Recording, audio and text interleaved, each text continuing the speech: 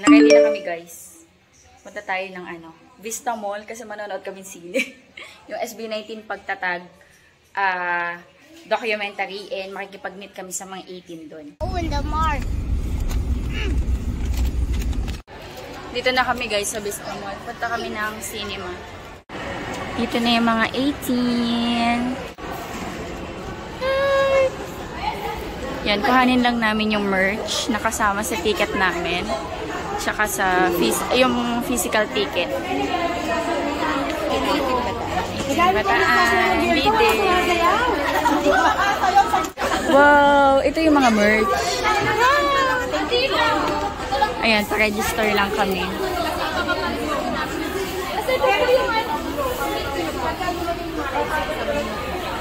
Oh, pwede. Dito? Sa dulo tayo, gusto Ilan mo? si Raisa? Ilan siya? Dito. Ilan po kayo? Sa ngayon, tatlo muna. Dito po kayo. Ata, L12, L11. Yan. Ay! 10, 11. Pili ka na. Pili ka na. Kaya na po pili. Ayun sa amin nila sa akin tatlo. Saan ito? Ano tayo? Yun, thank you. Ay, okay. Sige po, thank you. Oh, tayo, kuha din tayo. Galing nilang Dona. Ay, kakamil ba to? Hindi ko rin po alam. Coffee kineme. Ay. Coffee naman yan! Ayan, ito yung mga 18 na naghihintay. Tsaka nandito, medyo madami kami. Ito yung aming ticket, physical ticket.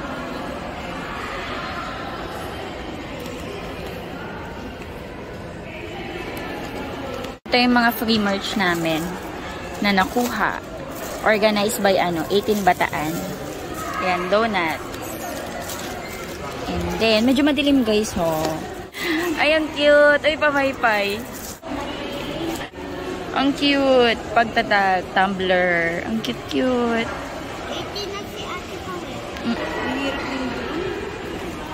Oh, 18 bataan. Ang cute.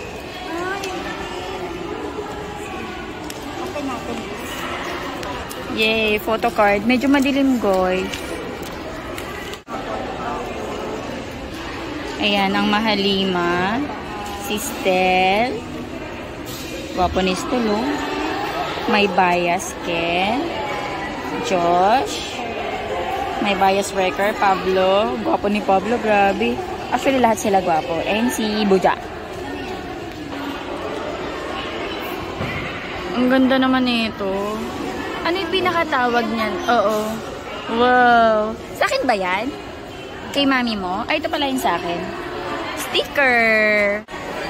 Ayan, nakapila kami sa popcorn. Ay, sa ano, pagkain. 2.30 na, so... Ayan, pila-pila.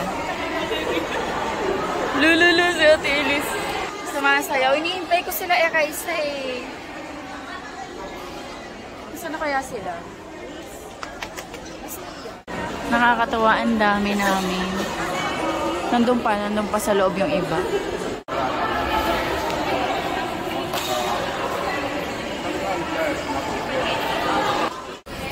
Ayan, nakakuha na kami. Kasama sa ticket. Drinks tsaka popcorn. Pila pa tayo eh. Hindi ko alam na kasama. Akala ko nagpipila kasi sila kasi bibili ng snacks. Kasama pala.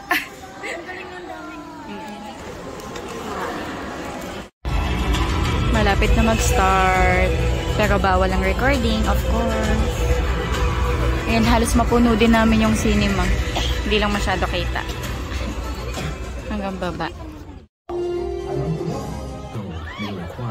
Ayan na. I ilabas na yung mga tissue.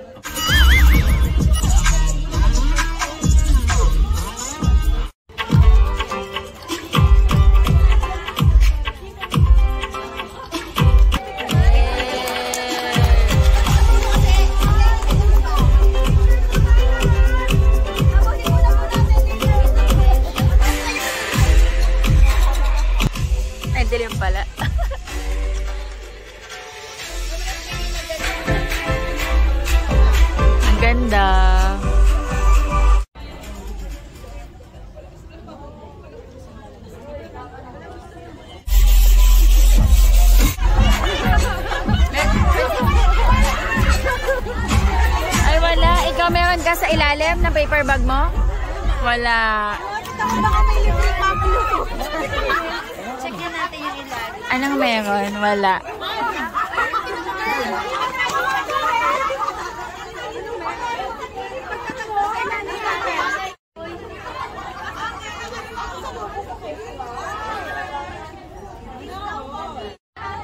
Magpipicture lang kami. Ang dami natin, oh.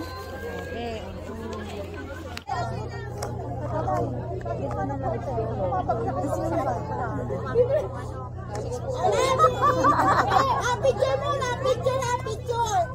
picture mo na daw. Para mga picture. Isa pang picture. Video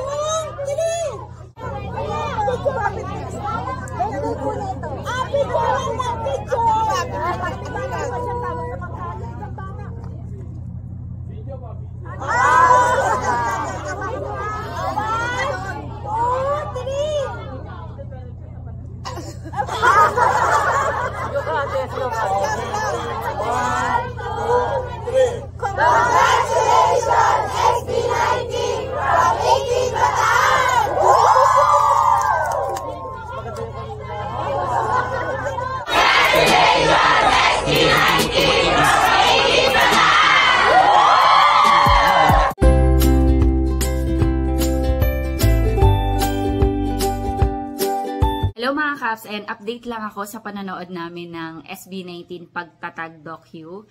Ayan, nanood kami August 31, kasama yung 18 bataan. So, nakakatawa kasi ang dami-dami namin na nagsama-sama.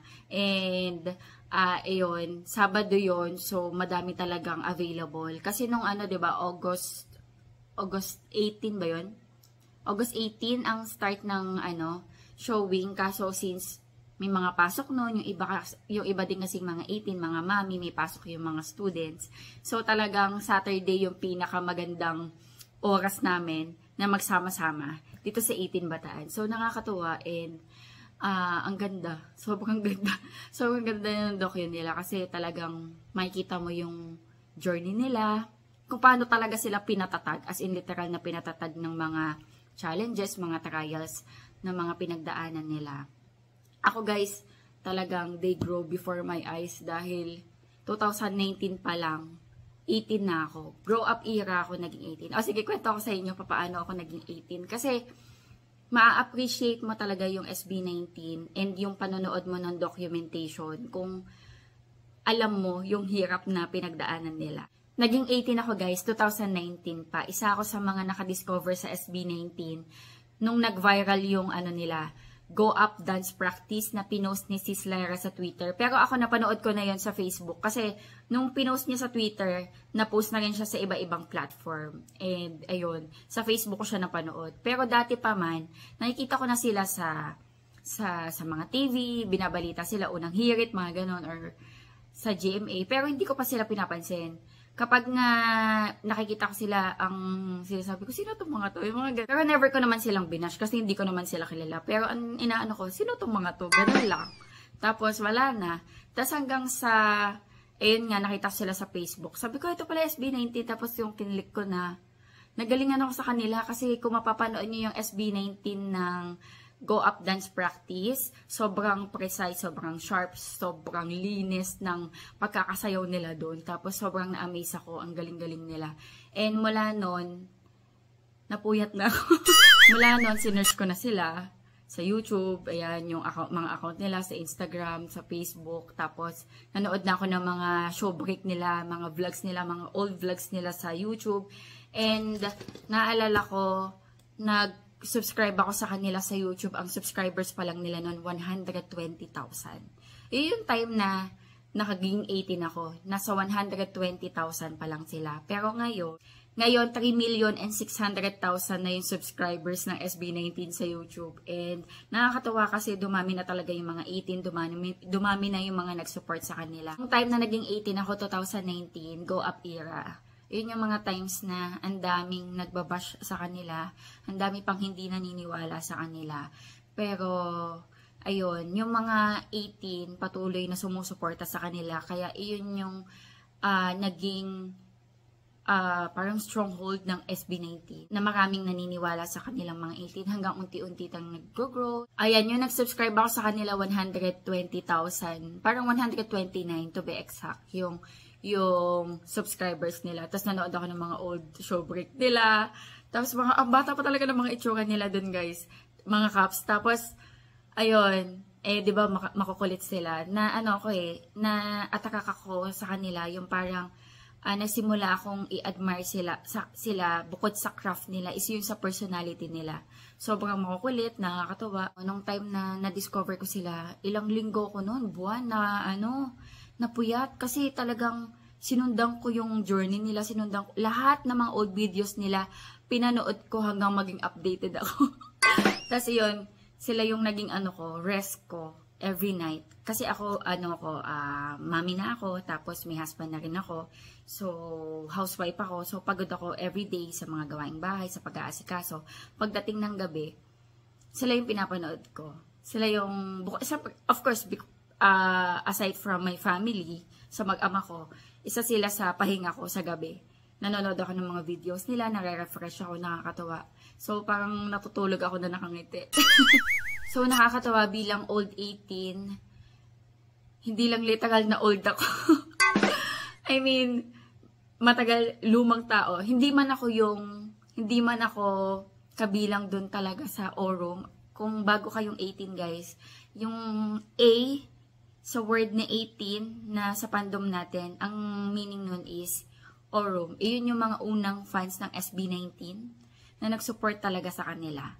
Bukod sa 18 as in hours, ah, 18 as in 18 bef- 18 first before SB19, atin and hours, meaning ng A is orum, yun nga. Ah, yun yung mga una talagang naniwala sa SB19 ng mga times na sobrang sobrang ang dami nagbaba sa kanila. Ah, tapos after ng ako kasi ano na ako eh, 18 na eh nung naging fan ako. 18 na. And bilib ako sa mga orum dati na nagtiwala sa SB19. So, pero ako I consider pa rin na ano, lumang tao kasi 2019 pa yun guys eh. 2018 yung orum eh. So, ayun. And, yun nga, since medyo matagal na ako, talagang na-witness ko yung pag-grow nila. Sobrang laki ng gin-grow nila sa mga craft nila. Ngayon, di ba, may mga solo may mga solo albums na sila. So, nakakatuwa. And, ayun. Sobrang nakaka-proud bilang 18. Tapos, sobrang laki na ng fandom natin. To the point na ang hirap ng mag-avail ng mga ng mga ticket. Ang dami ng kalaban. Hindi naman kalaban. I mean, of course, marami na talagang nag-a-avail na kailangan mo makipag-unahan. Nakakatuwa and nakaka-proud kasi nakita mo na nagbunga lahat ng sacrifice and pagod ng SB19. And ngayon, nasa tugatog na sila ng tagumpay. Pero sabi nga nila, malayo na sila, pero malayo pa. And alam naman natin, madami silang goal na gustong gawin para sa music industry and sa company na meron sila 1C. So, ayun nga, may company na rin sila. So, nakakatuwa. Nakaka-proud na nakaka-witness ako bilang fan, na, na witness ko talaga silang mag-grow. And ako, na-inspire din talaga ako sa kanila na wag sumuko, kahit sa anong, alam mo yun, kahit ano man, syempre iba-iba tayo ng journey, iba-iba tayo ng mga gustong gawin sa buhay. Kaya no matter what, kung ano yung mga dreams mo, ang natutunan ko sa kanila is wag sumuko. And do what you love, love what you do. If you love me, I love you. si Ken yan. Kung natagal na kayo 18, alam niyo yung praise na yan kay Ken yan.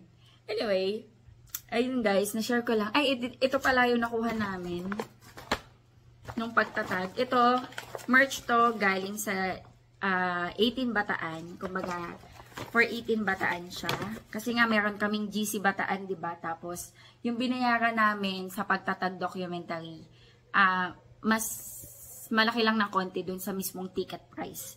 Pero of course, may kasama na siyang merch. Tapos may meron siyang libreng popcorn tsaka juice. Ayan. Ito, inorganize to ng mga admins ng 18 Bataan. So, thank you po. Ayan. Pinakita ko na to, pero pakita ko pa din ng mas malino kasi medyo madilim nun sa cinema. Eh. Ito, gusto gusto ko to guys. Ang gwapo-gwapo nila dito. Pinay nyo naman. Ang ganda no. Saan kaya ito ilalagay? Hindi siya sticker eh. Tapos ang ganda ng ano niya oh. Ang ganda ng papel niya. Parang siyang plastic na makapal. Ang ganda nito. Grabe, fresh na fresh sila dito. oh. Diba? May bias and may bias record. Pero love ko silang lima. Ito pa may pie. Dadaling ko to sa concert. Para pag naghihintay sa labas ng Araneta. Pero minsan naman tumatambay kami sa loob ng ano, gateway. Okay.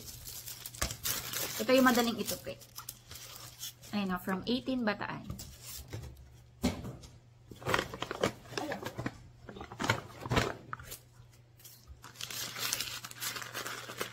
Parang ayokong itupi ah. Ay, ay di kasha. Kasha. Ayan. Tapos, meron tayong tumbler. Pagtatag tumbler. Ayoko siyang gamitin. to be honest, ayoko siyang gamitin. Tatabi ko lang to, hindi ka to gagamitin. Tapos, ayan, 18 bataan. SB19 na mga sticker. Ay, ano, photo cards. Gusto ko bumili ng ano eh, mga bi binder, lalagyan na ng mga photo cards. Kasi ang dami kong mga photo cards eh. Yung iba, unofficial. Kasi yung iba, ano, galing sa mga freebies kapag nanonood ng concert, yung mga nagbibigay ng mga, ano, mga photo cards. Ayan, 18 bataan to. Ayan, si Stel. Mapang-akit, Stel. Ken. May bias. Josh. Alam niyo si Josh, iba ngayon si Josh. Ang gwapo niya ngayon. sobrang, sobrang gwapo ni Josh ngayon. Si Buja, si Buja na hindi na natin, hindi na ano, pure. ano na si, binatang banata, no? Hindi na siya baby. Si Pablo, may bias wrecker. And then yung lima. Ayan. Ayaw mo focus eh. Ayaw mo focus. Tabi natin to. Bibili ako ng binder. Binder nga ba tawag doon? Baka ano, ang tawag photo album.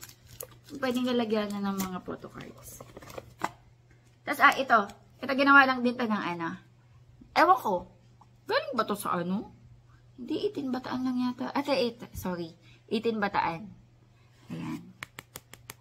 Pagtatag na gawa na kunwari ticket. Ang ganda, 'di ba? Ay, ito yung ano, pinaka-ticket talaga. So, pag mga 18, very ano, sentimental tayo sa mga ganito, tinatabi natin. Yung confetti nga eh. Mga confetti sa concert, ay nakatabi pa sa akin.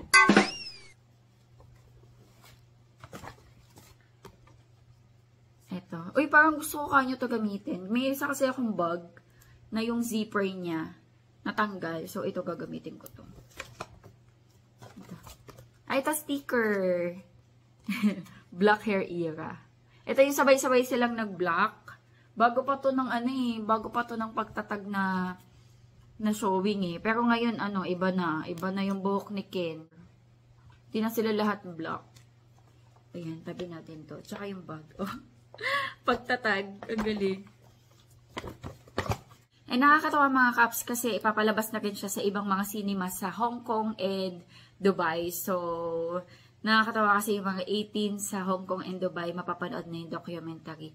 And sobrang natutuwa din ako guys sa mga 18 kasi napakadisiplinado. Wala talagang nag-upload, walang leak ng mga ano, ng mga spoiler sa mga platforms. Wala talaga nag-take ng video. So, ayun mga kaps, i-end ko na yung video. Thank you so much sa panonood. Hopefully, nag-enjoy kayo. God bless! Bye-bye! Ay, see you pala sa SB19 uh, Dunkin Thanksgiving Concert. Ayan, day 1 ako. See you!